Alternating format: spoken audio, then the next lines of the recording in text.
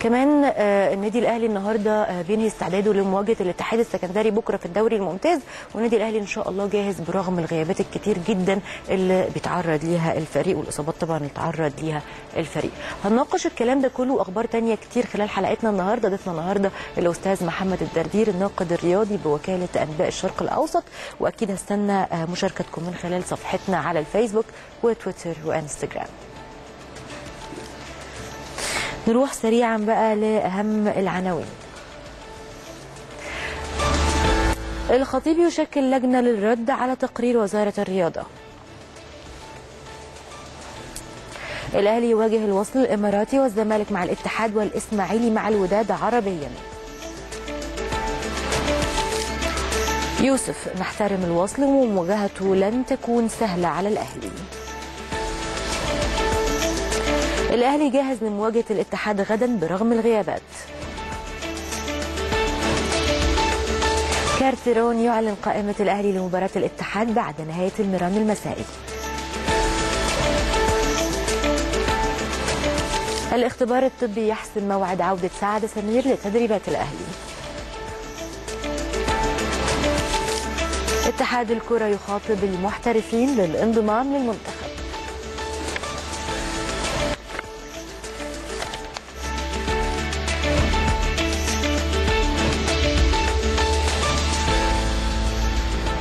البداية دايما بتكون بأهم منشطات الجرايد عن النادي الأهلي.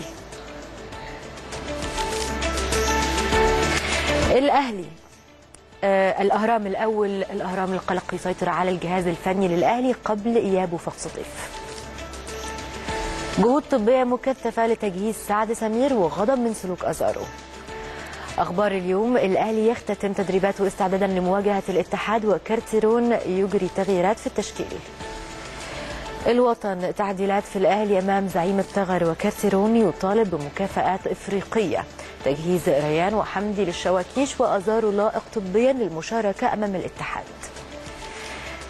الشروق الأهلي يرفض إسناد مبارياته في الدوري لحكام شمال أفريقيا. النادي وافق على خوض بعض المباريات بحكام مصريين واتحاد الكرة يتعهد بتوفير حكام من أوروبا في بعض المباريات. الإدارة القانونية تتحرك لحفظ حق النادي في ملف كوليبالي بعد اقترابه من المشاركة مع بارتيك ثيسل الإسكتلندي. اليوم السابع الأهلي يحدد قائمة الراحلين في الصيف. اللاعبون يوقعون على اللائحة الجديدة. الأحمر يضع شرط التراجع عن طلب حكام أوروبيين والفريق يدخل معسكر استعدادا للاتحاد.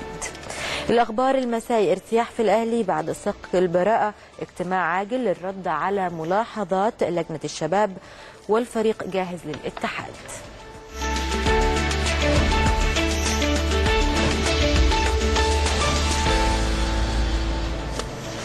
نروح معاكم سريعا لتفاصيل أهم الأخبار وهنبتديها مع الأهرام، الأهرام قالت إن بتسود حالة من القلق داخل الجهاز الفني للفريق الأول لكرة القدم في النادي الأهلي بسبب طبعا احتمال غياب سعد سمير عن اللقاء القادم لقاء وفاق سطيف الجزائري المقرر المقرر ليه يوم 23 أكتوبر الحالي في الجزائر في إياب نصف نهائي دوري الأبطال.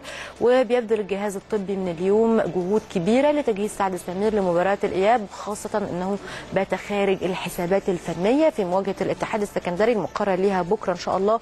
آه ثم الترسانة في كأس مصر المقرر ليها يوم الأربعاء اللي جاي. على جانب آخر تلقى الجهاز الفني شكاوى من ثلاث لعيبة بسبب تعامل المهاجم وليد آزارو جوه الملعب بطريقة آه غير لائقة وبيتحدث بطريقة غير لائقة بجانب إهداره للفرص بشكل مبالغ فيه. وطبعا ده ظهر أو بيظهر عدم تركيزه مع الفريق والمقرر إن هيكون في جلسة مع باتريس كارتيرون المدير الفني.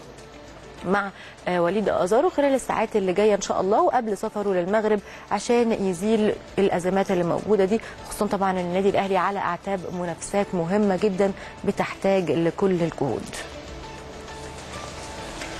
كمان الوطن قالت إن طلب الفرنسي باتريس كارتيرون المدير الفني للنادي الأهلي سرعة صرف المكافآت للصعود للدور قبل نهائي من بطولة دوري أبطال أفريقيا للعيبة خلال الفترة الجايه اللي جاية إن شاء الله أو كمان الفترة الجارية عشان يحفزوا اللعيبة خلال الفترة اللي جاية ويحافظوا على تركيزهم جوه الملعب لاستكمال مشوار البطولة بشكل جيد واستعادة لقب دوري أبطال أفريقيا خصوصا طبعا بعد الفوز على فريق وفاق سطيف الجزائري بهدفين في ذهاب الدور نص النهائي. النهائي والاقتراب من الصعود لنهائي البطولة للعام الثاني على التوالي. بدأ أعضاء الجهاز الفني في تجهيز الثنائي أحمد ياسر ريان المهاجم الشاب وأحمد حمدي للمشاركة في مباراة الترسانة اللي جاية إن شاء الله في كأس مصر في ظل انضمام الثلاثي وليد أزارو للمنتخب المغربي ومروان محسن وصلاح محسن للمنتخب آه، الوطني. واتكلم المدير الفني مع الثنائي بشكل خاص عشان يقدروا يستغلوا فرصة المشاركة في مباريات الكأس عشان يحطوا بصمة مع الفريق ويثبتوا وجودهم في التشكيل الأساسي خلال الفترة اللي جاية. كمان الشروق قالت إن آه، تحركت الإدارة القانونية في النادي آه، الأهلي في ملف الايفواري الهارب سليماني كوليبالي بعد ما أعلن نادي بارتيك ثيسل الإسكتلندي حصوله على بطاقة مؤقتة للعب وأرسل النادي خطاب للاتحاد آه، ل- طبعا مخاطبه الاتحاد الدولي لكرة القدم الفيفا للاستفسار عن حقيقة إصدار بطاقة مؤقتة للاعب. وطبعا اللاعب لسه عليه غرامة في حالة حدوث آه، ده لأحقية النادي الأهلي في الحصول على مليون و400 ألف دولار كغرامة على كوليبالي بعد ما هرب طبعا من النادي الأهلي آه، من فترة.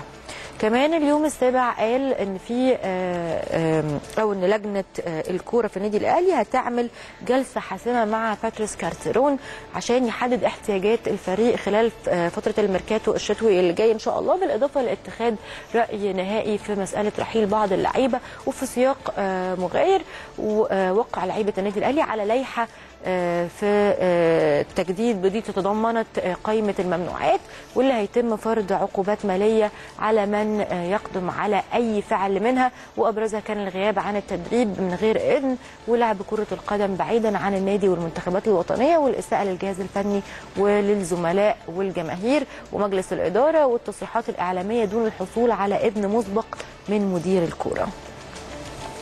الأخبار المسائي كمان آه، قال سادت حاله من الارتياح في النادي آه، الأهلي بعد حصول النادي على تقارير لجنة وزارة الشباب والرياضة واللي أثبتت إن الأموال اللي تلقاها النادي من تركي الشيخ رئيس هيئة الرياضة السعودية تم دخولها في حسابات وخزينة النادي الأهلي بشكل رسمي. حتى الهدايا العينية آه، اللي أثير طبعا عليها جدل كبير أكدت مصادر من جوه النادي الأهلي إنها مثبتة في الحصر وبيستعد مجلس الإدارة لعقد اجتماع لبحث الملاحظات واللي كشفتها لجنة حصر الأموال من الشباب والرياضة. وبعد كده هيقوم المجلس بدراسه الملاحظات دي بالكامل وهيجهز رد وافي على كل الملاحظات ال 22 اللي أرسلتها اللجنة. وكمان المجلس هيعمل تشكيل لجنة قانونية خاصة لإنجاز ملف آه، آه، الملف اللي إحنا بنتكلم عليه ده وبعد كده هيرسلوا الرد لوزارة الشباب والرياضة.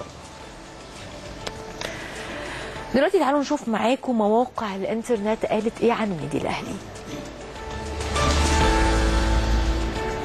الموقع الرسمي للنادي الأهلي الخطيب يشكل لجنة للرد على تقرير وزارة الرياضة. الموقع الرسمي للنادي الأهلي الأهلي مع الوصل الإماراتي في دور ال 16 لبطولة كأس زايد. الوطن آه، محمد يوسف نحترم الوصل ومواجهته لن تكون سهلة على الأهلي. الشروق كارتيرون يعلن قائمة الأهلي لمواجهة الاتحاد بعد نهاية المران المسائي. وان تري محمد يوسف الاتحاد لديه دفعة نفسية قوية لكننا سنواصل الانتصارات. الأهلي يعلن موعد عودة محمد نجيب للتدريبات. فيتو علي معلول يبدأ تنفيذ برنامج علاج طبيعي في الأهلي. البوابة سبورت الأهلي يضم مدافع كوم حمادة لمدة خمس مواسم. بوابة أخبار اليوم الأهلي يحدد موعد عودة نجيب. المصري اليوم الاختبار الطبي يحسم موعد عودة سعد سمير لتدريبات الأهلي.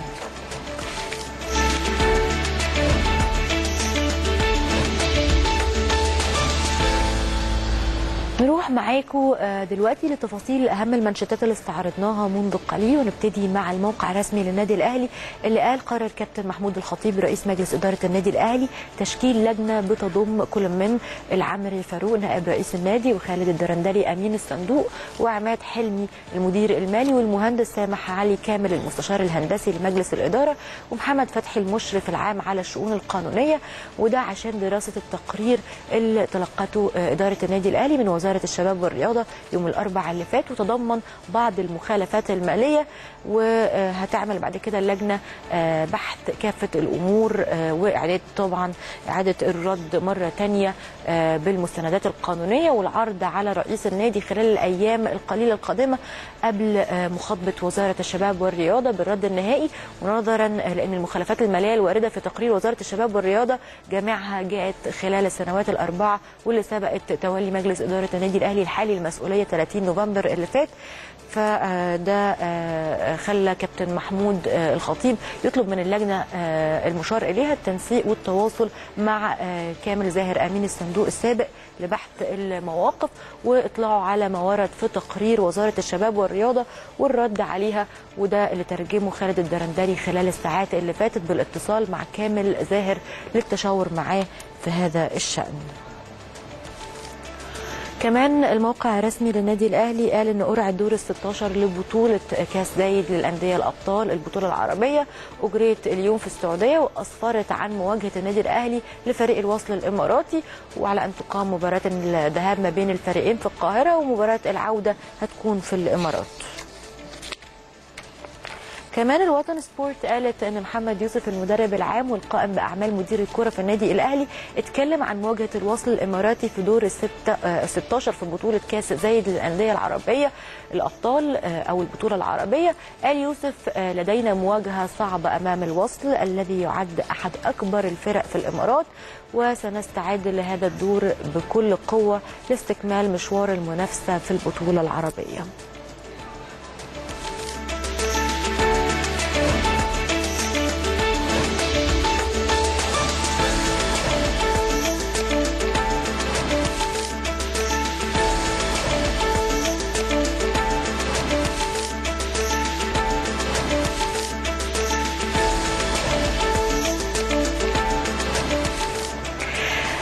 مكملين معاكم أخبار النادي الأهلي من على مواقع الإنترنت وبنوصل للشروق. الشروق قالت إن الفريق الأول لكرة القدم في النادي الأهلي بيأدي مساء اليوم على ملعب التتش تمرين واستعدادا لمواجهة الاتحاد السكندري واللي هتقام بكرة إن شاء الله على استاد السلام في إطار مواجهات الدوري العام. وبعد نهاية التمرين النهارده هيعلن الفرنسي باتريس كارتيرون عن قائمه الفريق اللي هتدخل في معسكر مغلق. كمان وان تري قالت إن محمد يوسف المدرب العام والقائم بأعمال مدير الكورة في الفريق الأول لكرة القدم في النادي الأهلي أكد على أهمية مباراة الاتحاد السكندري وصعوبتها في نفس الوقت وقال يوسف إن فريق الاتحاد بيملك عناصر مميزة من اللعيبة وطبعا بيأدوا بشكل كويس جدا من بداية الموسم الحالي.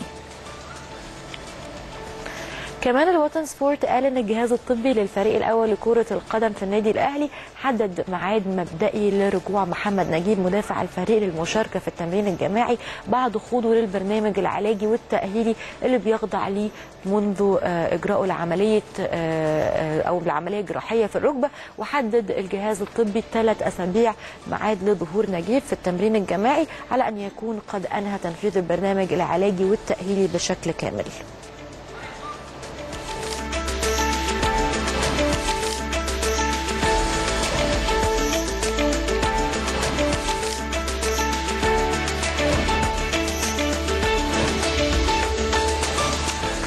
وبينضم لنا دلوقتي عبر الهاتف أحمد كيوان مراسل قناة النادي الأهلي من تدريب النادي الأهلي الأخير استعدادا لمواجهة الاتحاد السكندري بكرة إن شاء الله.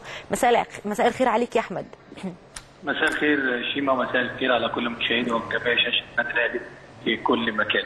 أكيد عايز أعرف منك آخر استعدادات النادي الأهلي لمواجهة الاتحاد السكندري بكرة إن شاء الله قصاد النادي الأهلي قصاد الاتحاد السكندري. أكيد إحنا موجودين كاميرا النادي الأهلي دايما تتابع كواليس تدريب النادي الأهلي مراننا الأخير قبل مواجهة الاتحاد بالفعل بدأ منذ دقائق بمشاركه عدد كبير من اللاعبين. يمكن هكلمك على بعض الغيابات لكن أبدأ من نواحي الفنية بدأ التمرين بشكل يعني ما جري حوالين الملعب ثم بعد كده اجراء حالا أنا شايف قدامي الإحماء من عدد كبير من اللاعبين ومشاركة كل اللاعبين اللي في القائمة المحلية والإفريقية والعربية. أما الغيابات فبيغيب حارس النادي الأول عن التمرين يعني حسب ما ورد إلينا إن هو عنده في مشكلة في عينه في حاجة طلعت في عينه كده خد كدمة لحد الان لسه برضه هنتعرف على نوع الاصابه بالتحديد لكن هو بيغيب عن التمرين وأعتقد ممكن ما يكونش مشارك في قائمة الاتحاد غدا. أما بالنسبة لسعد سمير فسعد سمير آه، لسه هيدخل التمرين لكن التمرين مش بشكل رئيسي هو تمرين فرعي بيستكمل علاجه. طبعا السوليه الناس كلها كانت بتحب تطمن عليه. هو طبعا بيشارك في التدريبات البدنية والفنية جزءا بجزء. كذلك مودو جابر بيشارك في التمرين آه، في الجزء البدني بيغيب. صلاح محسن عشان طبعا عنده شد في الأمامية وكذلك حسام عاشور اللي شد في عضلات البطن. الاثنين بيعملوا جلسات استشفائية آه، وجود وجود آه،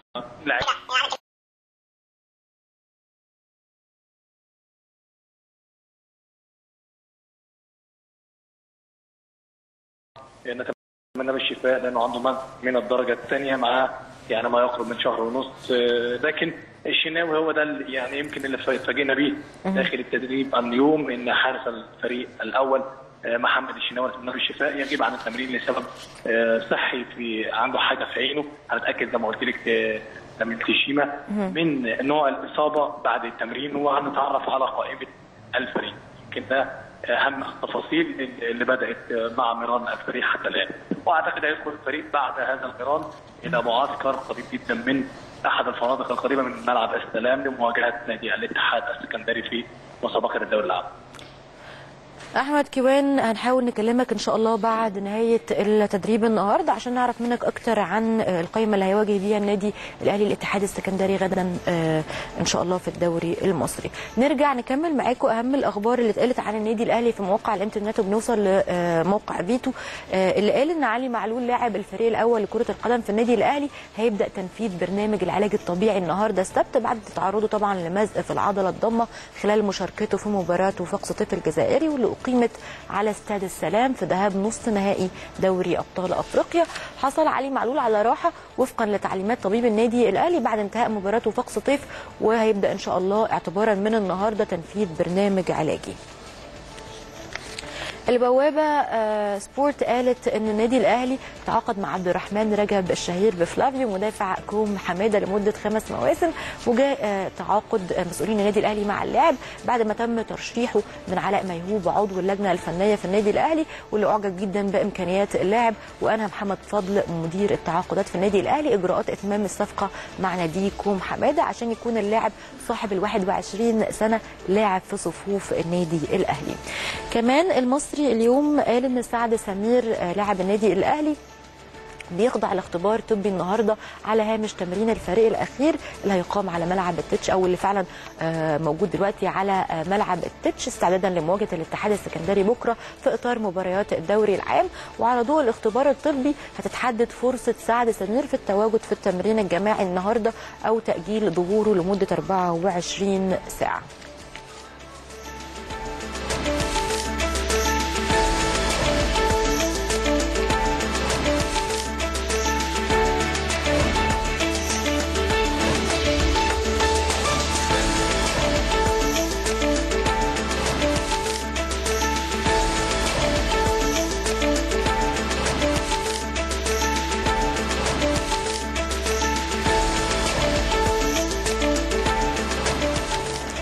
مشاهدينا معادنا دلوقتي مع فاصل سريع ونرجع نكمل معاكم بقية فقراتنا في كلام في الميديا. خليكم معانا.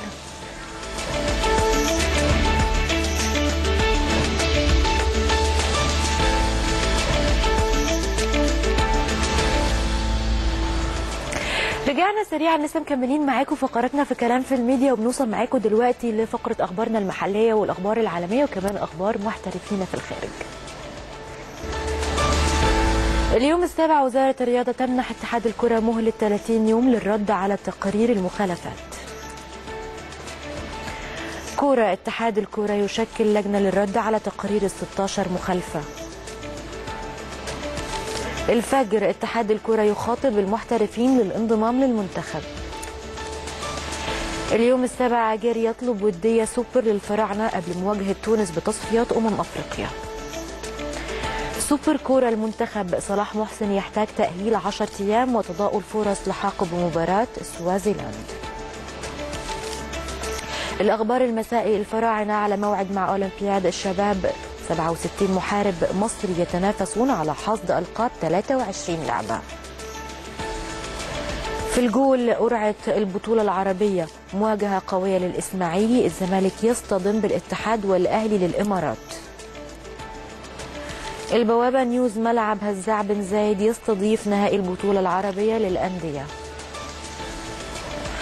الشروق مباراة استعراضية بين أساطير العرب على هامش نهائي كأس زايد. الأهرام المسائي صفقات سرية في الإسماعيلي عثمان يعرض القائمة ويؤكد بيع المتولي وبامبو والوحش. فييرا يرفض التدخل في صلاحياته ويبدأ الإصلاح في الكأس. اليوم السابع فييرا يرفض رحيل الحضري عن الإسماعيلي. المدرب البرازيلي يطالب السد العالي بإغلاق صفحة الرحيل ويطلب تسجيلات للدراويش الوطن سبورت بيدرو يطالب الإسماعيلي بمستحقاته المالية المتأخرة. الأهرام نصائح بريطانية بالصبر على صلاح في أزمته الحالية. وسائل الإعلام ليفربول في حاجة ماسة له والإصابة حرب الجو وحرب الجوائز وراء تراجع مستواه الوطن صلاح أساسي أمام مانشستر سيتي في رحلة البحث عن العودة. البوابة سبورت الإعلامي أو الإعلام التركي يتغنى بالتريزيجي بعد تألقه أمام جوزتيبي. صدى البلد. تريزيجي يحقق ثلاث أرقام قياسية مع قاسم باشا أمام جوستابي بوابة أخبار اليوم تجميد نشاط كرة القدم في سيراليون بعد بسبب تدخل الحكومة. البي بي سي رونالدو جاهز للمباراة المقبلة أمام أودينيزي يورو سبورت نيمار يسرق صفقة برشلونة ويحولها لباريس.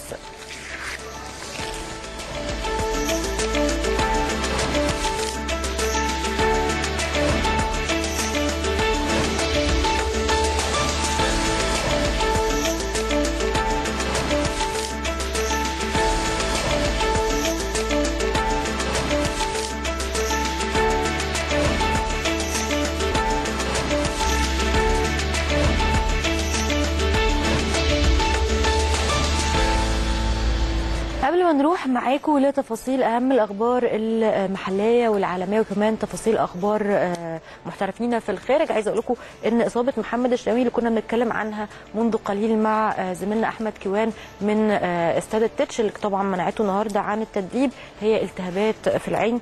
ألف سلامة طبعا عليك يا شناوي. وده اللي أكده لنا مراسلنا أحمد كيوان عبر الهاتف منذ قليل. نروح بقى لتفاصيل أهم الأخبار ونبتديها من اليوم السابع اللي قال ان وزارة الرياضة منحت مجلس إدارة اتحاد الكورة مهلة 30 يوم للرد على تقرير المخالفات اللي وصلت للجبلية مؤخرا بعد انتهاء لجنة مختصة من الوزارة آه، والجهاز المركزي للمحاسبات من التفتيش على اتحاد الكورة. تلقى اتحاد الكورة تقرير من وزارة الرياضة بيتضمن 16 مخالفة على الجبلية. موقع آه، كورة قال ان اتحاد الكورة شكل لجنه قانونيه لإعادة الرد على وزارة الرياضة بشأن المخالفات المالية والإدارية واللي تم رصدها آه، هاني أبو ريدة رئيس اتحاد الكورة قال إن اللجنة التابعة للوزارة آه، تم تشكيلها في الأساس بناء على طلب الاتحاد لإثبات سلامة موقفه بعد الاتهامات الكثيره اللي طالت رجال الجبلية بعد المشاركة السلبية في مونديال روسيا 2018 للفجر اللي بيقول الاتحاد المصري لكرة القدم برئاسة هاني أبو ريدة بعت خطاب رسمي للأندية الخارجية لإرسال اللعيبة المنضمين لصفوف المنتخب الوطني الأول قبل انطلاق المعسكر الخاص بالفراعنة استعدادا طبعا لمواقع آه، لموقعة سوازيلاند في التصفيات الأفريقية. وحدد مسؤولين الجبلية يوم آه، سبعة من الشهر الجاري يوم 7 أكتوبر ميعاد لحضور كل المحترفين وهيبدأ المعسكر إن شاء الله يوم 8 أكتوبر.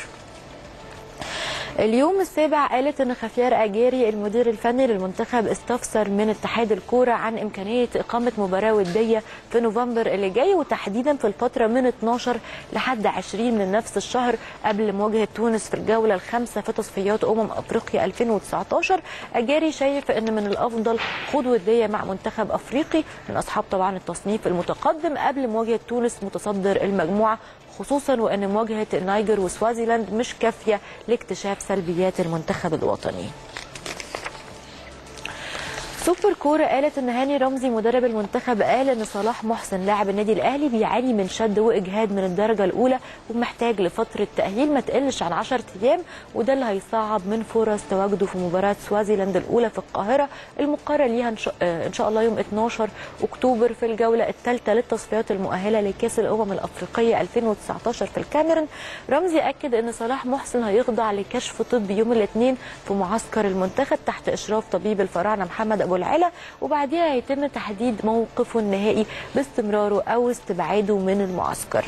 الأخبار المسائي كمان قال بتنطلق النهارده فعاليات دورة الألعاب الأولمبية الصيفية للشباب في مدينة بوينس آيرس في الأرجنتين في الفترة من السادس من أكتوبر 6 أكتوبر النهارده لحد 18 أكتوبر بمشاركة حوالي 4000 رياضي ورياضية جم من 206 دولة مشاركة في المنافسات في 32 رياضة. وبتشارك مصر خلال دورة الألعاب الأولمبية في في الصيف ده.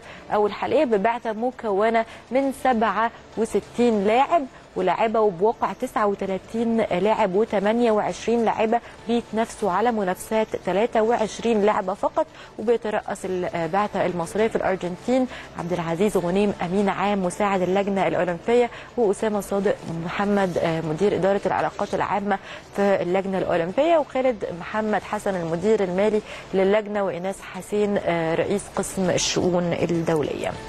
في البول كمان قالت إن قرعة دور ثمن النهائي للبطولة العربية أسفرت عن مواجهات قوية هيقابل آه نادي الزمالك والاتحاد السكندري فيما هيكون على الإسماعيلي إن هو يواجه الرجاء البيضاوي المغربي في البطولة اللي هتشهد طبعا مباريات قوية تانية بعيدا عن الأندية المصرية.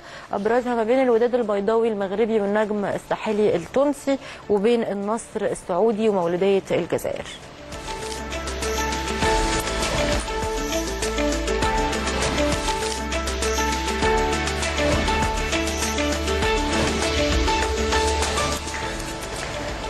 كمان الوطن سبورت قالت إن البرتغالي بيدرو المدير الفني السابق للإسماعيلي طلب من إدارة النادي منحه مستحقاته المالية المتأخرة التي لم يتحصل عليها منذ رحيله من النادي. مصدر مقرب من المدرب البرتغالي أكد عدم حصول رد من النادي وانه تم تجاهله بشكل غريب ومؤسف على حد تعبيره.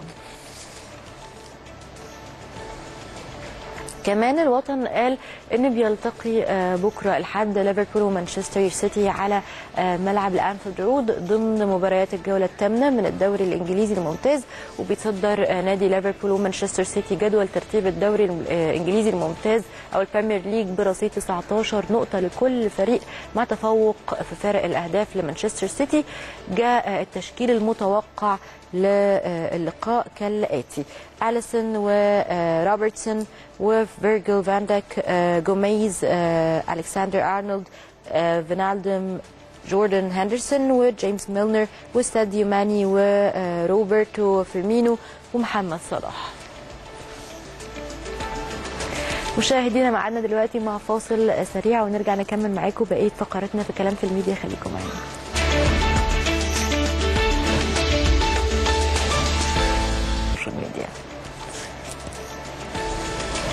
هنبتدي مع رانيا علواني دكتورة رانيا علواني عضو مجلس إدارة النادي الأهلي. نشرت على الانستجرام صورة من منتدى الحركة الأولمبية في الأرجنتين وكتبت 16 سنة من بداية ترشيحي في اللجنة الأولمبية. ميدو جابر لاعب النادي الأهلي نشر صورة للفريق على الانستجرام وكتب وفي يوم هتقع وهيكون كل الناس ضدك لكن هتقوم أقوى من تاني بصوت أنا الأهلي. كابتن وائل جمعة صخر الدفاع النادي الأهلي السابق كتب بمناسبة ذكرى نصر أكتوبر المجيد صباح الخير صباح النصر. كل سنة ومصر طيبة ومحفوظة من كل شر ويا رب في أمان وأمن اليوم الدين كمان كتب الاعلامي إبراهيم المنيسي على تويتر افتكرت كنا في أول أو في أولى ابتدائي لما رحنا المدرسة الصبح وشوية وقالوا الحرب قامت لم نكن هناك. أو لم نكن هناك في أسيوط ندري شيئا لكن بعد كام ساعة جاءنا نبأ استشهاد ابن عمي الشهيد أحمد علي في الإسماعيلية. ألف رحمة ونور على شهداء الوطن الأبرار وتعيش يا بلدي. كمان نشر كابتن فكري صالح صورة آه، باللبس العسكري على تويتر وكتب في ذكرى رد الكرامة والشرف العسكري والانتصار بروح أكتوبر العظيم. الحمد لله دائما وأبدا. نروح لمحترفين في الخارج. هنبتدي مع محمود فايز المدرب العام السابق للمنتخب الوطني الأول واللي كتب على تويتر والله العظيم يا أبو صلاح أي حد أجنبي بيقابلني بره مصر وبيعرف ان مصري أغلب الكلمات اللي بيكررها الأهرامات والفراعنة وصلاح أنت فخر لينا كلنا ووراك في كل وقت وأي مكان. كمان نشرت الصفحة الرسمية لنادي قاسم باشا التركي على تويتر صورة لتريزيجيه واللي أحرز هدف وصنع هدفين في فوز فريقه آه، امبارح 3-1 في الدوري التركي وكتبت توهج هدف واثنين assist. assist. كمان نشرت آه، أو نشر رمضان صبحي لاعب هدرسفيلد تاون الإنجليزي صورة من المطار وهو في طريقه لمصر. ومحمد النني كمان لاعب أرسنال الإنجليزي نشر صورة على الإنستجرام وكتب بعد فوز الجانرز على آه، كاراباك أجدام في آه، الدوري الأوروبي 3-0 ثلاث نقط أحسنتم وأداء مميز. كمان آه، أمري مدرب الأرسنال كتب على تويتر عمل عظيم ولكننا ندرك أن مباراة الأحد في ملعب كرافن كوتج أمام فولهام قاب قوسين أو أدنى دائما معا. عالميا كمان نشر سيرخيو راموس قائد ريال مدريد الأسباني على تويتر فيديو وكتب عندما يصبح الطريق صعب ادفع بقوة جاهز للغد. تعالوا نروح نشوف الفيديو.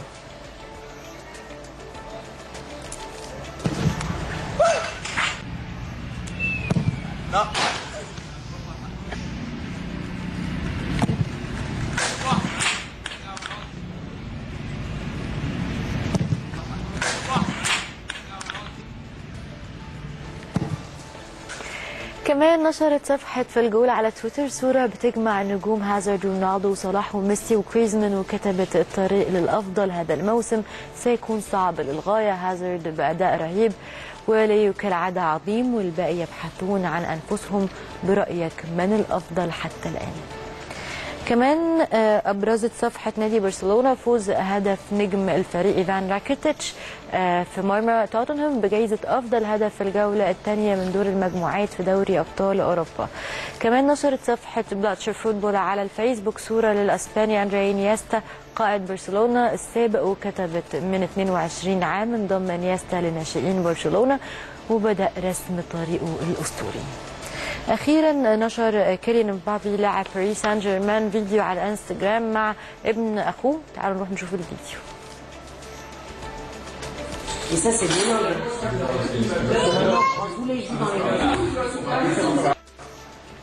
مشاهدينا فاصل سريع ونرجع نستقبل ضيفنا النهارده الأستاذ محمد الدردير الناقد الرياضي في وكالة أنباء الشرق الأوسط.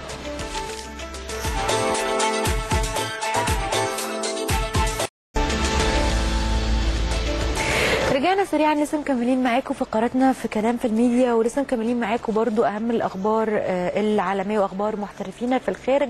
وبنوصل لصدى البلد اللي قال إن حقق قاسم باشا التركي الفوز على جوز تيبي آه، بنتيجة ثلاث أهداف مقابل هدف واحد في ليلة شهدت تالق المحترف المصري تريزيجيه محقق ثلاث أرقام قياسية.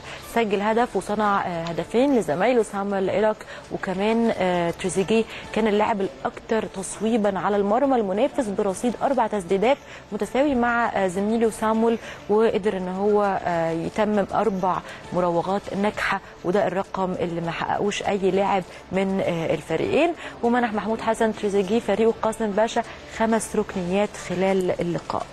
كمان بوابة أخبار اليوم قالت أن أعلن الاتحاد الدولي لكرة القدم الفيفا أنه وقف آه، سيراليون عن المشاركة في منافسات كرة القدم العالمية بسبب التدخل المزعوم من جانب حكومتها في إدارة شؤون اللعبة بإقالة مسؤولين في الاتحاد السيراليوني. أو سيراليوني عفوا لكرة القدم. بينهم آه، الرئيس آه، إيشا يوهانسن وإرسال الفيفا خطاب رسمي لوزير الرياضة السيراليوني أعرب آه، في الفيفا عن قلقه البالغ بشأن إقالة رئيس اتحاد الكوره آه، إيشا يوهانسن والسكرتير العام كريستوفر كامارا. كمان قالت الفيفا في بيان آه، التجميد الخاص اللي بعتته آه، إن هيتم رفع التعليق بمجرد ان ياكد اتحاد الكورة آه، إن القيادة المعترف بها من الفيفا وإدارة الاتحاد وحساباته وقنواته آه، المتواصل بها والتابعة ليه رجعت مرة تانية تحت السيطرة.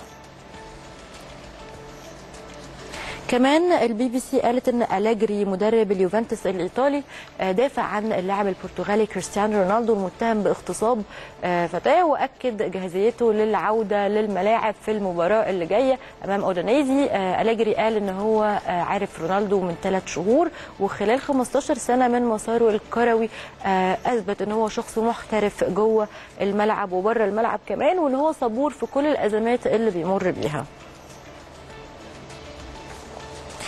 اليورو سبورت العربية قالت ان وسائل اعلام برازيلية قالت إن البرازيلي نيمار دا سيلفا لاعب باريس سان جيرمان الفرنسي بيهدف لإتمام صفقة كبيرة لفريقه في آه، الموسم القادم موسم الانتقالات الشتوية آه، القادم.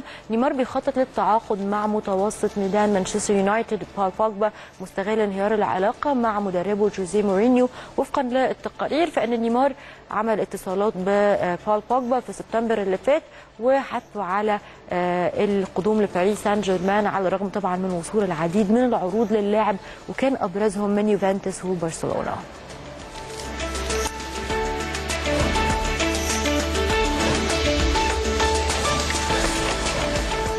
بنوصل سريعا معاكم لفقرة ال social media اللي دايما بنتابع فيها أهم اللي نشروا نجوم الرياضة على صفحاتهم. رجعنا سريعا لسه مكملين معاكم فقراتنا في كلام في الميديا وبينضم لنا دلوقتي في الاستوديو أستاذ محمد الدردير الناقد الرياضي في وكالة أنباء الشرق الأوسط مساء الخير عليك مساء النور أهلا منورنا وسهلا. النهاردة. ربنا يخليك. طبعا النهارده عندنا كلام على حاجات كتير آه، آه، في الكورة طبعا بس في البداية كده خليني أقول لك كل سنة وأنت طيب طبعا بمناسبة 6 أكتوبر أكيد طبعا كل سنة ومصر كلها بخير وذكرى عزيزة علينا كلنا كل سنة ومصر كلها بخير أهم بقى الأحداث الكروية اللي حصلت النهارده قرعة آه، البطولة العربية. شفت القرعة دي إزاي؟ يمكن النهارده القرعة شايف هي متوازنة لحد كبير للنادي الأهلي. هيلعب فريق الوصل الإماراتي مباراة صحيح. مش هتكون آه، سهلة للنادي الأهلي. فريق الوصل من الفرق اللي برضه كويسه والفرق صحيح. الكبيرة. يمكن هو الفريق الإماراتي الوحيد اللي موجود في البطولة لحد دلوقتي. وإحنا شفنا برضو في الدور اللي فات إن فريق الوصل الإماراتي قدر يخرج فريق اتحاد جدة السعودي حقيقي وده دليل إن الفريق مش من الفرق السهلة اللي- صحيح. وأكيد المباراة هتبقى قوية بين الفرقتين. صحيح. طيب كمان القرعة سريعا كده أسفرت عن وقوع نادي المريخ السوداني مع نادي اتحاد العاصمة الجزائري نادي النصر السعودي مع مولودية الجزائر آه نادي الأهلي المصري مع نادي الوصل الإماراتي نادي الوداد البيضاوي المغربي مع النجم آه التونسي نادي الهلال السعودي مع نادي النفط العراقي نادي الإسماعيلي المصري مع نادي رجاء البيضاوي نادي الاتحاد السكندري مع نادي الزمالك المصري نادي وفاق سطيف الجزائري مع النادي الأهلي السعودي. طبعا أنت كنت بتقولي دلوقتي إن لقاء النادي الأهلي مع الوصل الإماراتي مش هيكون لقاء سهل لأن آه، آه، في الموسم آه، الماضي فاز نادي الوصل على اتحاد جدة السعودي. طبعا نادي اتحاد جدة نادي كبير جدا. أكيد في الدور اللي فات كان المباراة الأول في السعودية انتهت بالتعادل واحد واحد. ويمكن في مباراة العودة كان التعادل السلبي والهدف اللي قدر يجيبه نادي الوصل الإماراتي في اتحاد جده هو اللي أهله للدور اللي بعده. يمكن النادي الأهلي مش غريب عليه اللعب في الإمارات اتعود صحيح. في الفترة الأخيرة إنه لعب مباريات كتير في. الامارات خاصه مباريات السوبر ومباريات أكتر من مباراة ودية. مباراة الذهاب هتكون في القاهرة هي لسه ما تحددش ميعادها إمتى بالظبط بس هتكون مباراة الذهاب في القاهرة والعودة هتكون هناك في الإمارات. أعتقد إن جمهور النادي الأهلي الكبير في الإمارات هيكون ليه عامل كبير ودور كبير في مؤازرة النادي الأهلي هناك وهيدي دفعة معنوية كبيرة لعيبة النادي الأهلي. إنها تقدم مباراة قوية سواء هنا أو هناك إن شاء الله. صحيح.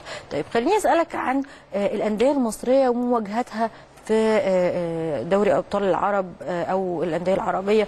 النادي الأهلي ولا نادي الإسماعيلي ولا الاتحاد السكندري مع نادي الزمالك أي مواجهة هي هتكون الأصعب؟ يمكن آه، يعني إحنا للأسف نادي الزمالك والنادي الاتحاد السكندري هيلعبوا فريقين مصريين آه، مع بعض أكيد واحد منهم هيخسر الثاني وما كناش نتمنى إن الفرق المصرية تلعب بعض صحيح. لكن أعتقد إن المباراة الأصعب هتكون مباراة الإسماعيلي والرجاء المغربي فرقة كبيرة نادي الرجاء آه، شعبيته كبيرة جدا في المغرب إلى جانب قوة الفريق بيأدي مباريات قوية الموسم ده حتى في بطولة دوري الأبطال. أعتقد إن مباراة الإسماعيلي هتبقى أصعب مباراة للفرق المصرية في البطولة العربية. صحيح. طيب عايز أسألك برضو عن تقييمك بشكل عام البطوله العربية لحد دلوقتي. يمكن البطولة العربية السنة دي فيها اهتمام كبير خاصة بعد زيادة آه، قيمة الجوائز بتاعتها. ده ادى آه، خلق فيها نوع من المنافسة وخلى فرق كبيرة وفرق كتير عايزة تشارك وتاخد اللقب خاصة مع زي ما قلت إن ال- العائد المادي والجوائز بتاعتها آه، ارتفع بشكل كبير الموسم ده. صحيح. إلى جانب طبعا ان كل ما بنقرب من الأدوار ال- الفرق العربية الأقوى هي اللي بتظهر في البطولة. إحنا شايفين. يمكن النهارده دور ال 16 فرق كتير قوية في مواجهات قوية جدا في البطولة. في منافسة كبيرة. أعتقد إن السنة دي هيبقى في منافسة أكبر وهيبقى شكل البطولة أقوى من المواسم اللي اتلعبت قبل كده. شفنا تصريحات كابتن محمد يوسف آه، مدير الكورة في النادي آه، الأهلي وهو بيتكلم عن آه، اللقاء القادم للنادي الأهلي في البطولة العربية أو عن القرعة اللي أوقعت النادي الأهلي مع الوصل الإماراتي. قال إن الوصل فريق عنيد وكبير لكن إحنا بنسعى لتحقيق الفوز أكيد. أكيد طبعا النادي الأهلي أي بطولة بيشارك فيها. هدفه الأول اللي هو مش المشاركة الشرفية بالعكس النادي الأهلي أي بطولة تحقيق اللقب. تحقيق اللقب. صحيح. آه، زي ما قلت لحضرتك يمكن مباراة الوصل مش هتكون مباراة سهلة على النادي الأهلي ولكن النادي الأهلي بالنجوم الموجودين فيه آه، قادر إنه يحقق ال- الفوز في سواء في مباراة الذهاب أو العودة والتأهل للدور الثاني من البطولة. صحيح. طب لو اتكلمنا عن مشوار النادي الأهلي في البطولة العربية في الموسم آه الحالي هنلاقي النادي الأهلي مجموع لقائه آه أو مجموع اللقاءين المباراتين مع النجمة اللبناني 4 0 شفت أداء النادي الأهلي إزاي في البطولة دي؟ أكيد النادي الأهلي شايفينه السنة دي عمل مباراة. يمكن في مباراة الذهاب ما كانش بالمستوى ال- ال- القوي. لظروف كتيرة كان غيابات عدد كبير من اللاعبين إصابات آه، إجهاد من كتر المباريات اللي شارك فيها والبطولات. لكن في مباراة العودة كانوا على قد المسؤولية وقدموا مباراة قوية جدا وقدروا إن هم يجيبوا الفوز من لبنان بأربع أهداف آه، فوز كبير. وممكن كان عدد الأهداف يمكن يتضاعف في المباراة دي. أعتقد إن النادي الأهلي قادر إنه يروح بعيد في البطولة دي وينافس بقوة على اللقب بتاعه. طيب. آه لو سألتك عن توقعاتك الشخصية مين هيقدر إن هو يحسم لقب البطولة دي في النسخة الحالية؟ يمكن صعب على المستوى الشخصي إن أنا أقول احدد نادي بعينه. وأنا زي ما قلت إن البطولة السنة دي قوية جدا. كل الفرق اللي داخلة البطولة بهدف إن هي تح- تحرز اللقب. آه، صعب جدا إن إحنا احدد فريق معين يقدر ياخد البطولة وإن كان النادي الأهلي طبعا من الم... لازم يكون من المرشحين ال- الأوائل لحصد اللقب ده. في غيابات كتير جدا طبعا في صفوف النادي الأهلي. شايف الغيابات دي ممكن تأثر عليه قد إيه؟ آه سواء بقى طبعا في البطولة العربية أو الأفريقية أو كمان في لقاءاتنا في الدوري المصري الممتاز خصوصا طبعا إن بكرة في لقاء آه قصاد الاتحاد السكندري في الدوري المصري الممتاز. يمكن النادي الأهلي قدر إن هو بيشارك في بطولات كتيرة في الموسم الواحد. أربع بطولات. وأكيد طبعا ده بيأثر بشكل كبير بدنيا على اللاعبين إلى جانب الإصابات غير ال- العضلية الإصابات في الملاعب في الخشونة أو في أثناء المباريات نفسها. ولكن النادي الأهلي عودنا ان آه، الأهلي بمن حضر آه، أي آه، لاعب بيشارك في المباراة بي- بيظهر بشكل كويس يقدر يعوض الغيابات. وإن كانت هناك بعض بعض الغيابات المؤثرة ولكن قائمة النادي الأهلي في عدد كبير من اللاعبين يقدر يعوض الغيابات دي بشكل سواء في أي مركز هنلاقي ليه أكتر من بديل في النادي الأهلي. صحيح. هو ده اللي بيعمله كارتيرون. دايما بيلاقي بدايل آه، وبيلاقي حلول طبعا للغيابات والإصابات اللي موجودة. أكيد يمكن زي ما قلت لحضرتك قائمة النادي الأهلي غنية باللاعبين اللي على مستوى عالي. يمكن أي لاعب بديل بيكون على نفس مستوى اللاعب ال- الأساسي في الفريق. وده بيسهل مهمة النادي الأهلي وإن كان الغيابات بتبقى بعض الأحيان مؤثرة ولكن النادي الأهلي في النهاية قادر إنه يحقق البطولات ويحقق الانتصارات في المباريات وفي كل البطولات اللي بيشارك فيها. لو كان لو اتكلمنا عن لقاء آه، بكرة لقاء النادي الأهلي مع الاتحاد السكندري في الدوري المصري الممتاز. الاتحاد السكندري غير المدرب آه، بتاعه بقى دلوقتي كابتن حلمي طولان هو المدير الفني للاتحاد السكندري. شايف خطورة الاتحاد السكندري بكرة هتكون عاملة إزاي قصاد النادي آه، الأهلي؟ طبعا مع آه، إن إحنا حاطين في الحسبان الغيابات الكتير اللي موجودة. يمكن نادي الاتحاد السكندري قدر بعد تولي كابتن حلمي طولان المسؤولية إنه يحقق الفوز في آخر مباراة لعبها. ده هيدي دفعة معنوية كبيرة لعيبه نادي الاتحاد السكندري إن هم يواصلوا على الأقل مسيرة الانتصارات دي وتحقيق نتيجة إيجابية قدام النادي الأهلي بكرة. يمكن النادي الأهلي بيواجه صعوبة في بعض الغيابات. ولكن اللعيبة اللي موجودة آه، تقدر إن هي تعوض زملائها الغائبين. والنادي الأهلي أعتقد إنه يقدم مباراة قوية بكرة. خاصة ان في الفترة الأخيرة لعب في البطولة العربية وقبلها لعب في البطولة الأفريقية. أعتقد ان عودته مرة أخرى للدوري كان ليه أكتر من مباراة مؤجلة. آه، هيسعى للفوز ل- و- والكابتن محمد يوسف قال كده النهارده إنه بيسعوا للفوز في كل المباريات اللي جاية وخاصه المباريات المؤجله عشان يعتلي قمة الدوري وزي أكيد. كل سنة ويقدر ي- ي- يستعيد مكانه على القمة يعني. النادي آه، الأهلي وافق ان يدير آه، اللقاء بكرة. طاقم تحكيم مصري ورفض إن يسند المباراة دي لتحكيم من شمال أفريقيا. شفت الكلام ده إزاي؟ هو الحقيقة كان النادي الأهلي في البداية طلب حكام أوروبيين لإدارة مبارياته ولكن في حالة عدم وجود أو صعوبة توفير طاقم تحكيم أوروبي أنا شايف إن التحكيم العربي بخير والتحكيم المصري بخير. طالما آه، هتجيب حكم من شمال أفريقيا لا يبقى لو حكم مصري دولي اولى ان يحكم مبارياتنا مش محتاجين إن إحنا نجيب حكام من شمال أفريقيا. آه، لأنه تقريبا نفس المستوى. آه، بس الحكام بس المصريين- فين الحل؟ يعني بعد المشاكل اللي شفناها في لقاء النادي الأهلي مع الإنتاج الحربي في الجولة الخامسة من الدوري المصري الممتاز يعني كان في كوارث تحكيمية. فكان الطبيعي إن النادي الأهلي يطالب بحكام أوروبيين هم اللي يديروا لقاءاته القادمة. فما لقاش غير من شمال أفريقيا فقال لا أنا مش عايز حكام من شمال أفريقيا يعني زيهم زي المصريين بالظبط مش هيفرق. وبعد كده الأوروبيين دول إحنا هنبقى أكيد محتاجينهم في آه، آه، باقي مباريات الدوري. أكيد في هنحتاج بعض الحكام النادي الأهلي هيحتاج بعض الحكام الأوروبيين خاصة في المباريات ال- المهمة مباريات القمة في الدوري. آه، يمكن زي ما قلت لحضرتك النادي الأهلي كان طلب حكام أوروبيين من قبل واتحاد الكورة كان رد عليه إنه هيوفر ده. يمكن ضيق الوقت هو اللي أثر بشكل كبير إن النادي الأهلي ما عرفش يجيب حكام من أوروبا. صحيح. آه، في النهاية التحكيم المصري أعتقد خاصة بعد الأخطاء الكثيره اللي شفناها في الفترة الأخيرة كان في دورات مكثفة للحكام لاعاده تأهيل الحكام ومناقشة الأخطاء دي واعتقد إن لجنة الحكام بصدد إن هي آه، تطوير التحكيم في الفترة اللي جاية عشان ما تتكررش الاخطاء دي تاني وممكن صحيح. نديهم فرصة الماتش الجاي ماتش. الاتحاد هيبان إن كان في فعلا تطوير حصل أو لا بعد الكوارث التحكيمية برضو بتاعت مباراة الإنتاج الحربي والنادي الأهلي في الجولة الخامسة النادي الأهلي آه، أصدر بيان وطلب فيه من اتحاد الكورة إن هم يستخدموا آه، تقنية الفار أو تقنية آه، الفيديو أو حكم الفيديو. بعدها بفترة لقينا اتحاد الكورة رد وقال إن فعلا هيكون في استخدام لتقنية الفيديو بداية إن شاء الله من الدور الثاني وبعد كده قالوا من بدايه بداية من الموسم آه القادم. شايف تقنية الفيديو دي هتحل أو هتساهم في حل مشاكل التحكيم قد إيه في الدوري المصري؟ أكيد هتساهم بشكل كبير بحل حل مشكله التحكيم. يمكن هي تقنية الفيديو آه، عايزة إمكانيات كبيرة سواء في ال- الاستديوهات ال- لمتابعة المباريات أو آه، التأهيل وتدريب الحكام عليها. يمكن ده اللي هياخد وقت شوية. هم كانوا فاكرين الموضوع سهل في الأول إن أنت مجرد إن أنت آه، كاميرا وهتراقب المباريات. لا الموضوع صعب. يمكن أنا كنت في المونديال وشفت بشكل عملي التقنية بتتم إزاي و- مكلفه جدا. ومكلفة جدا جدا. عايزة استوديوهات مخصوص وبعدين لما وكاميرات اتكلمنا. كمان في الموضوع ده وكمان آه، لما آه، شفنا ردود كابتن عصام عبد الفتاح قال إن آه، لو هنطبق تقنية الفيديو أو تقنية الفار فطبيعي إن إحنا هنطبقها على كل المباريات في الدوري المصري الممتاز مش على مباراة أو لفرق معينة دون الأخرى. فقال إن في الحالة دي هنبقى محتاجين إن إحنا نلعب ثلاث مباريات بس في اليوم الواحد. أكيد زي ما قلت لحضرتك هي عايزة إمكانيات كبيرة عايزة آه، عربه استوديو مجهزة آه، عدد معين من طاقم التحكيم ده طبعا كان بعد كلامه إنه هيكون في ثلاث وحدات أو ثلاث عربيات متنقلة. بالظبط. فيمكن بشكل جدول الدوري بالشكل الحالي هيبقى صعب جدا الموسم ده إن إحنا نطبق التقنية دي في كل المباريات. محتاج ترتيبات كتيرة جدا طبعا كمان عشان جدول آه، المواعيد أو توقيتات المباريات طبعا مش. هينفع أكتر من ثلاث.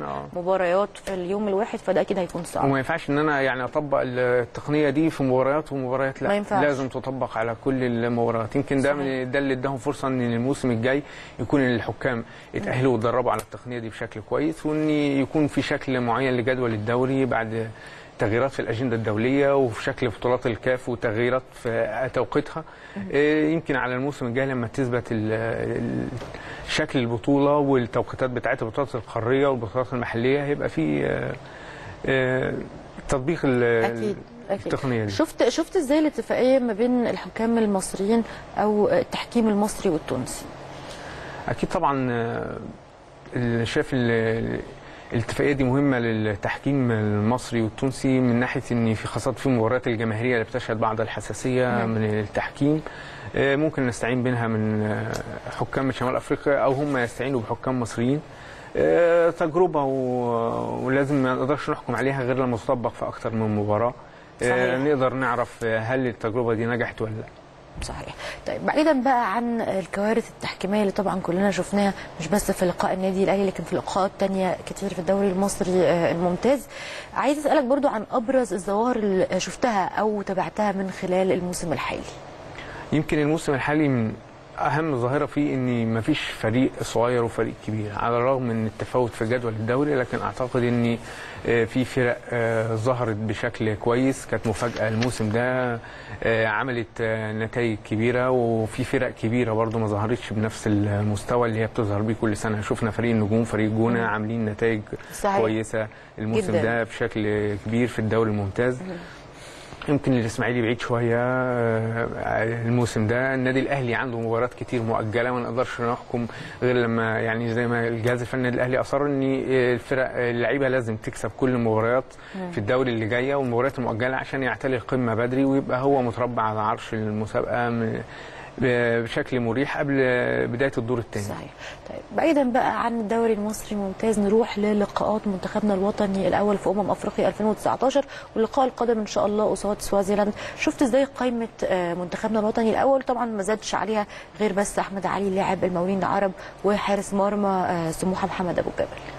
أنا شايف في النهاية ال- أعتقد إن كان في لعيبة في النادي الأهلي تستحق. تستحق إن هي تكون موجودة طبعا وليد سليمان. يعني مصر كلها بتتكلم إزاي ما يبقاش في المنتخب في الفترة دي وأحمد فتحي. وأحمد فتحي طبعا يمكن وليد كمان بشكل أكبر عامل دور كبير جدا, جداً، مع النادي الأهلي جداً. آه، مستوى رائع في كل المباريات اللي لعب لحد دلوقتي في الأسيستات في الأهداف اللي بيجيبها طب أنا لو سألتك آه، من وجهة نظرك وليد سليمان فاضل له إيه أو ناقصه إيه عشان ينضم للمنتخب أعتقد إن وليد سليمان مش ناقصه حاجة أنا يعني شايف إن وليد سليمان لازم يكون على رأس قائمة المنتخب ل- في الفترة اللي جاية يعني. لاعب مهم جدا في النادي الأهلي هو اللي بي بيقدر يقود الفريق لتحقيق الانتصارات في العديد من المباريات. أكيد. آه، لازم يكون على رأس القائمه في الفترة الحالية.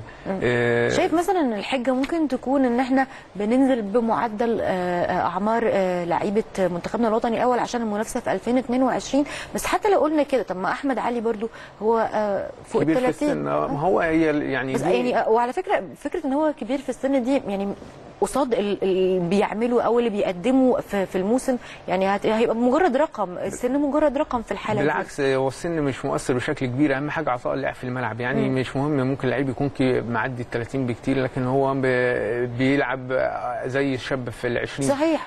كمان دي عنصر الخبرة مهم جدا. لازم يكون موجود في المنتخب. يعني ما ينفعش برضو أخد القائمه كلها. ناس أول مرة تلعب في المنتخب. أكيد في مباريات كبيرة. يمكن إحنا لحد دلوقتي ما لعبناش فرق كبيرة آه، قوية لحد ما في المنتخب. فما نقدرش مش عارفين نحكم على الاختيارات اللي اختاروها. لأن فينا إحنا لعبنا النيجر مش الفريق القوي اللي إحنا نقدر نحكم على المنتخب. صحيح. آه،. آه، بمستوى اللعيبة اللي فيه. لازم يكون المنتخب بيجمع بين آه، الخبرة والشباب. لازم يكون في لعيبة خبرة في المنتخب سواء في السن أو كانوا شاركوا في المنتخب قبل كده. هم اللي يقودوا اللعيبة وهم اللي يبثوا فيهم الروح المعنوية و- صحيح. وياخدوهم في الملعب ويقدروا يحققوا الانتصارات. بشكل عام تقييمك إيه لأجاري ولجهاز المعاون؟ أكيد لسه إحنا ما نقدرش نقيمه في الفترة الحالية. هو لسه لعب مباراة واحدة رسمية آه، يمكن اختياراته هي اللي عليها بعض ال- علامات الاستفهام ولكن يمكن الفوز الأخير على النيجر خلى الناس ما تكلمتش على الاختيارات بشكل كبير. يعني في النهاية آه، منتخب مصر حقق الفوز في المباراة. صحيح. لكن لسه في مباريات وبرضه ماتش سوازيلاند مش هي الفريق القوي اللي إحنا نقدر نحكم عليه. أكيد أكيد.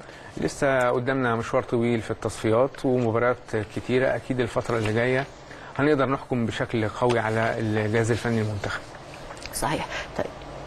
توقعاتك إيه للقاء القادم لمنتخبنا الوطني الأول قصاد سوازيلاند أكيد مباراة سهلة ممكن نفوز يعني مصر. بنتيجة كبيرة زي. مباراة النيجر المفروض إن إحنا نحقق انتصار وبنتيجه كبيرة يفرق معنويا كمان مع لعيبة المنتخب قبل المباريات التونس الأخيرة آه لازم نركز بشكل قوي إن إحنا نظهر بأداء كويس وإن إحنا في نفس الوقت نحرز أهداف كتيرة آه، حتى اللعيبة اللي زي ما إحنا قلنا ما عندهمش خبرة كبيرة في المنتخب في المباريات السهلة دي يقدروا ياخدوا خبرة كبيرة في سواء أداء قوي وتحقيق انتصار كويس إن شاء الله. أكيد.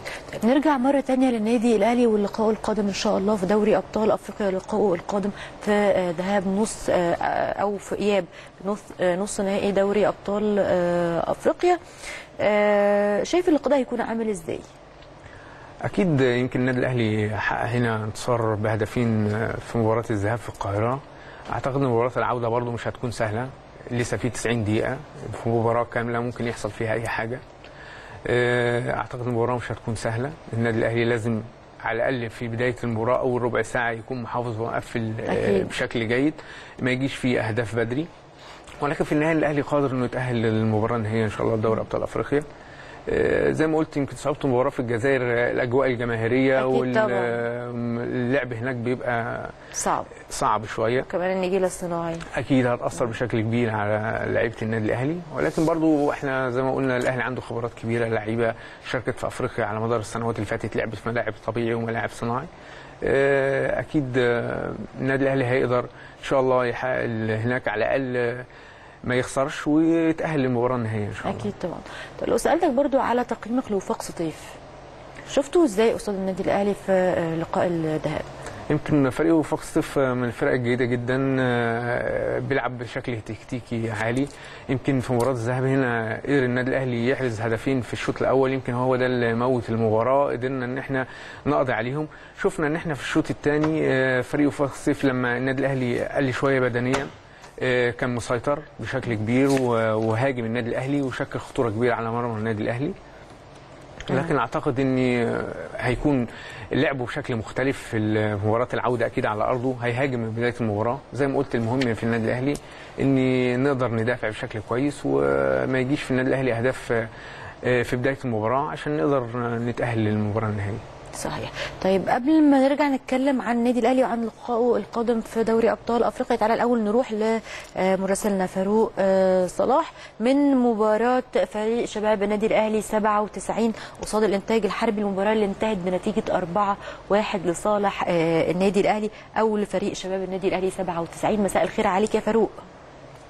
مساء النور زميلة شيماء تحياتي لحضرتك آه، ولكل مشاهدي ومتابعي شاشة قناة النادي الأهلي في كل مكان. عايزين نعرف منك تفاصيل أكتر عن لقاء آه، النهارده لقاء النادي الأهلي مواليد 97 فريق الشباب مع الإنتاج الحربي اللقاء اللي انتهى زي ما قلنا بنتيجة أربع أهداف لصالح النادي آه، الأهلي. هي المباراة كانت ضمن فعاليات الأسبوع السادس لبطولة الجمهورية للشباب مواليد 97 آه، النادي الأهلي قدر إن هو في الشوط الأولاني في أول نصف ساعة يحرز هدف هدفين والهدفين من آه، ركلات ثابتة عن طريق الركلة الركنية. في جمل فنية عاملها الكابتن عادل عبد الرحمن نفذها النهارده بإتقان لاعب النادي الأهلي. آه، ثم فريق ال- الهدفين أحرزهم النادي الأهلي كان عن طريق اللاعب محمد عبد المنعم واللاعب مصطفى عزت. آه، ثم في الشوط الثاني آه، في بدايته بدأ فريق الإنتاج الحربي إن هو ياخد المبادرة الهجومية ويضغط النادي الأهلي شوية قدر يحرز آه، هدف وبدأ تدريجيا إن هو يطمع في إحراز هدف التعادل لكن لعيبة النادي الأهلي كانوا يعني ما شاء الله في الشوط الثاني الكابتن عادل قدر إن هو يعمل تبديل للنادي الأهلي فوق لعيبة الأهلي شوية قدر النادي الأهلي يحرز الهدف الثالث عن طريق مصطفى البدري ثم الهدف الرابع آه، علشان النادي الأهلي يرفع رصيده للنقطة رقم 13 بيواس- بيواصل صدارته لدوري الجمهورية للشباب. وأيضا آه، النادي الأهلي بيرفع رصيده للهدف رقم 17 كأقوى خط هجوم و13 نقطة كالفريق الوحيد الذي لم يهزم حتى الآن والفريق الوحيد اللي قدر إمتى اللقاء القادم؟ لا ال- حاليا الفريق هياخد فترة توقف لم- لمدة 10 أيام لانضمام اللاعبين للمنتخب الأولمبي. الأولمبي و- ومشاركة المنتخب الأولمبي. آه، النهارده الشيء اللافت للنظر آه، زميلة شيماء آه، إن النادي الأهلي عنده تعدد في المحاور الهجومية. يعني قدر النادي الأهلي يحرز أهداف من كرات ثابتة قدر يحرز أهداف عن طريق ممكن تقولي مين النهارده أحرز الأهداف الأربع أهداف للنادي الأهلي؟ ال- الهدف ال- الأول أحرزه اللاعب محمد عبد المنعم.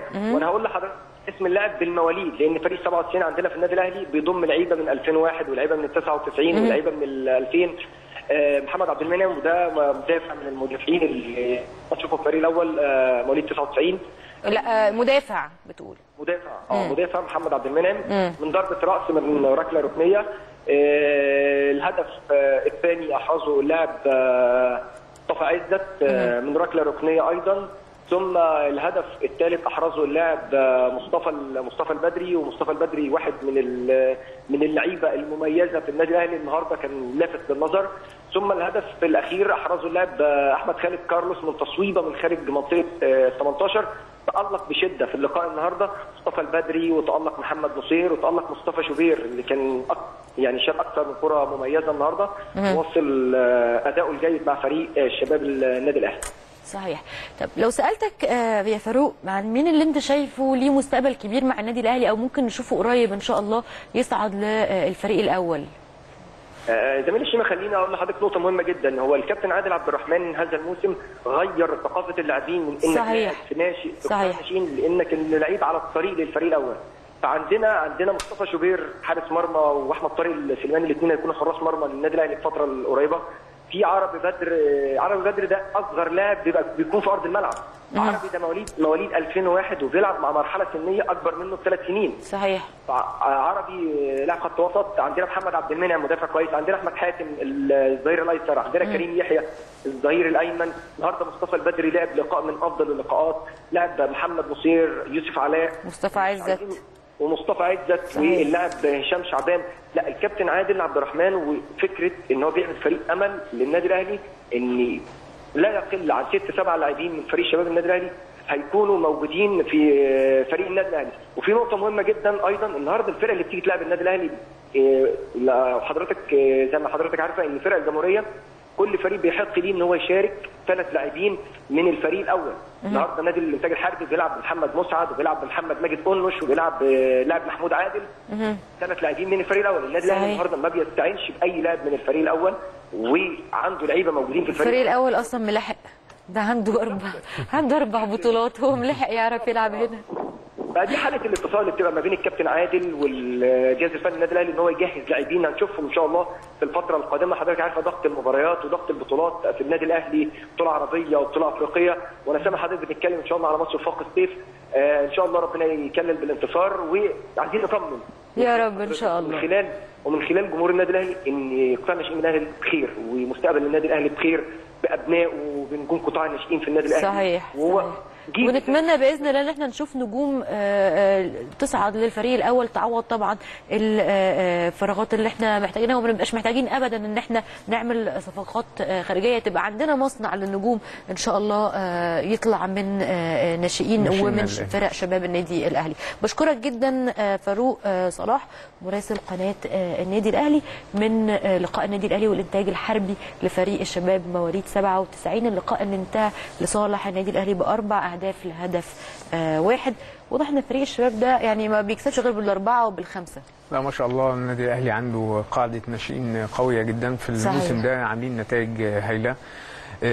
طبعا قوام المنتخبات آه، سواء الشباب أو الناشئين أو الاولمبي بيعتمد في الأساس على ابناء النادي الأهلي بيظهروا بمستوى مميز في كل البطولات. آه، إن شاء الله الفترة اللي جاية النادي الأهلي يقدر إنه زي ما حضرتك قلتي صحيح. ان يعتمد على أبنائه من قطاع الناشئين ويبقى ال- وكان الانتدابات والصفقات كان لينا لقاء قليلة. آه، عبر الهاتف مع كابتن عادل عبد الرحمن. آه، اتكلم فيه قد إيه هو بيشتغل على آه، خطة موازية لخطة آه، كارتيرون عشان يقدر إن هو يصعد عدد كبير جدا من آه، فرق الناشئين وفرق الشباب للفريق ال- الأول عندنا في النادي الأهلي عشان يقدر يسد أي عجز وما نبقاش محتاجين لصفقات آه، من بره. بالظبط وإحنا بنشوف كمان في الفترات اللي بيبقى فيه إصابات كتير أو بعض غيابات اللاعبين في المنتخبات ضمام المنتخبات الفريق الأول بيصعد مجموعة من اللاعبين الشباب والناشئين يتدربوا مع الفريق الأول. ده طبعا شيء كويس جدا عشان يكتسبوا خبرات مع آه، لاعبي الفريق الأول وبياخدوا زي ما قلت بياخدوا خبرة وفي نفس الوقت بيحاولوا يندمجوا مع الفريق الأول ويعوضوا الغيابات دي. أكيد ده شيء مهم جدا في الفترة اللي جاية. النادي الأهلي يعتمد على أبنائه من قطاع الناشئين. صحيح. طيب من امبارح للنهاردة حطينا سؤال على ال social media سألنا فيه جمهور النادي آه الأهلي. برأيك هل تؤثر الغيابات على النادي الأهلي في المباراة؟ آه، مباراة غد إن شاء الله قصاد الاتحاد آه، السكندري في الدوري المصري. تعالى سريعا كده نشوف الجمهور آه، قال لنا إيه. آه، من على الفيسبوك محمد عبد الرحمن قال لنا الغيابات لن تؤثر وبإذن الله الفوز للنادي الأهلي. عماد لطفي بيقول الأهلي بمن حضر الأهلي فوق الجميع. أسامة قال الغيابات مش هتأثر على النادي الأهلي ضد الاتحاد السكندري الأهلي بمن حضر وإن شاء الله آه، هنكسب. غادة العقيلي بتقول إن شاء الله ما تأثرش والأهلي بمن حضر وكل لعيبتنا نجوم وعلى قدر كبير من المسؤولية والجدي- والجدية والالتزام. أحمد كمان بيقول أكيد الأهلي هيتأثر بسبب العناصر الأساسية بس إن شاء الله البديل هيكون قدها والبديل في الأهلي أساسي في فريق تاني. آه عادل خطاب بيقول لا طبعا الأهلي ما بيتأثرش وما بيقفش على حد وإن شاء الله الأهلي هيكسب 3-0 عبد الحميد عطلة بيقول لن تؤثر الغيابات على الأهلي الأهلي بمن حضر وإن شاء الله فوز الأهلي آه، غدا رضا يوسف بيقول الأهلي بمن حضر. آه، فوزي أحمد بيقول لن تؤثر على أداء الفريق وهنكسب 2-0 إسراء عاطف بتقول إن شاء الله مش هتأثر والأهلي بمن حضر. كمان لتويتر تويتر آه، هيما بيقول آه، مش كلها بس لأن الأهلي ما بيقفش على حد وربنا آه، يوفقنا ونكسب الاتحاد الدوري أهلاوي. أحمد إسماعيل بيقول إن شاء الله ما فيش تأثير على الفريق والفوز للأهلي والأهلي بمن حضر ولاعيبه الأهلي كلهم رجالة كالعادة. أحمد علي بيقول آه، سوف تؤثر أكيد بس مش بشكل كبير. دعاء الخضيري بتقول آه، لا عمر ما الغيابات هتأثر في فريق آه، صخرة بحجم النادي الأهلي لأن الأهلي بمن حضر سيد مرسي بيقول إن شاء الله ما يتأثرش. آه الأهلي معودنا إن الغيابات ما بتأثرش فيه حمدي آه حمزة بيقول الأهلي بمن حضر لعبتنا كلها رجالة وتحية خاصة ليك يا شيماء. بشكرك جدا يا آه حمدي كلك ذوق. فيفي بتقول إن شاء الله آه يفوز الأهلي 3-0 آه بمن حضر. رضوى بتقول طبعا لا الأهلي بمن حضر أهلاوي. وأفتخر بيقول أعظم نادي في الكون لا يتأثر بغيابات الأهلي فوق الجميع آه، محمود عبد آه، يعني عادل الديب آه بيقول آه الأهلي بمن حضر والأهلي فوق الجميع. طبعا دي آراء جمهور النادي الأهلي. طبعا جمهور النادي الأهلي عنده ثقه كبيرة جدا في فريقه وشايف إن الأهلي بمن حضر برغم طبعا كل الغيابات المؤثرة اللي موجودة في صفوفه. أكيد طبعا إحنا زي ما قلت لحضرتك إحنا شفنا النادي الأهلي على الرغم من الغيابات بتبقى كبيرة في صفوفه بظروف مشاركته في أكتر من بطولة في وقت واحد ولكن في النهاية بيحقق الانتصار وبيحقق الفوز في كل البطولات في المباراه كل المباريات اللي بيشارك فيها وبينافس بقوة على كل البطولات اللي بيشارك فيها. زي ما قلت مباراه بكرة مش هتكون سهلة على النادي الأهلي. ولكن اللعيبة المتواجدين اللي هيعوضوا إن شاء الله يعوضوا غيابات زملائهم ويقدم مباراة قوية ويحقق الفوز بكرة إن شاء الله. إن شاء الله بإذن الله. طب أخيرا بقى هنرجع لدوري أبطال أفريقيا ولقاء النادي الأهلي القادم قصاده وفاق سطيف في آه، إياب آه، نص آه، نص نهائي آه، دوري أبطال آه، أفريقيا. غياب علي معلول هيأثر إزاي على اللقاء؟ يمكن آه، للأسف علي معلوم اللعيبه المؤثرين جدا في النادي الأهلي آه، لاعب أساسي بيلعب مع منتخب تونس بيلعب مع النادي الأهلي. آه، أعتقد إن وجود أيمن أشرف في النادي الأهلي هيعوض بشكل كبير غياب علي معلول. هو كان شارك برضه من فترة في نفس هذا المركز أساس مركزه الأساسي إنه هو يلعب الظهير الأيسر بيشارك في على مركز المساك في حالة يعني غياب وجود غيابات. وجود غيابات. هيرجع لمركزه الأساسي اللي بيلعب فيه. أعتقد إن أيمن أشرف قادر على تعويض غياب علي معلول في المباراة اللي جاية. يمكن زي ما قلت لحضرتك البديل بيكون على نفس مستوى اللاعب الأساسي في النادي الأهلي. صحيح. ونتمنى إن شاء الله إن الأهلي يحقق نتيجة إيجابية في الجزائر والتاهل المباراة النهائية إن شاء الله. إن وحظ شاء الله الله. بإذن إن شاء الله. الله. طيب في لقاء آخر لقاء الترجي وأول أغسطس. توقعاتك إيه للقاء ده؟ يمكن آه، إحنا شفنا مباراة الذهاب آه، كان أول أغسطس آه، كان ضغط طوال المباراة وكان في بعض الهجمات المرتدة للترجي. المباراة انتهت بفوز أول أغسطس بهدف نظيف. فأعتقد أن نادي الترجي فريق كبير يقدر في العودة يعوض. في تونس يعوض الهدف ده. لأن هي النتيجة 1-0 يعني 2-0 يتأهل آه، للمباراة النهائية. برأيك بقى مين هيكون أو مين هيكونوا طرفين اللقاء النهائي؟ يعني متهيألي النادي الأهلي والنادي الترجي هم المرشحين لتأهل المباراة النهائية وهيبقى كلاسيكو شمال أفريقيا بقى بين الأهلي والترجي متعودين في السنوات الأخيرة تبقى من أقوى المباريات الأهلي والترجي. يمكن العودة لو مشي يتأهل الترجي والأهلي النهائي يبقى العودة في استاد رادس ويمكن النادي الأهلي وشه حلو الملعب رادس بيبقى وشه حلو على النادي الأهلي حقيقي إن شاء الله اللقب من هناك إن شاء الله. أستاذ محمد آه، الدردير الناقد الرياضي في وكالة أنباء الشرق الأوسط نورتنا النهارده في كلام في الميديا شكرا جزيلا لحضرتك. بشكرك شكراً جدا على. وجودك معانا. شكرا على حسن المتابعة. أشوفكم بكرة إن شاء الله. حلقة جديدة من كلام في الميديا الساعة 5 مساء ويوم سعيد عليكم بإذن الله.